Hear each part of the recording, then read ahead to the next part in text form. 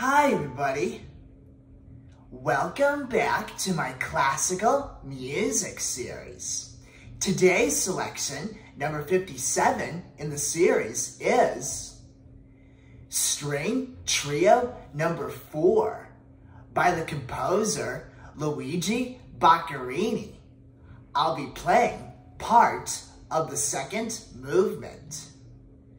You may not know that a trio is a group of three stringed instruments.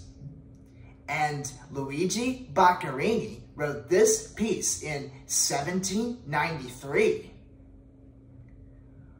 Okay, so sit back, relax, and please enjoy String Trio number four by Luigi Boccherini.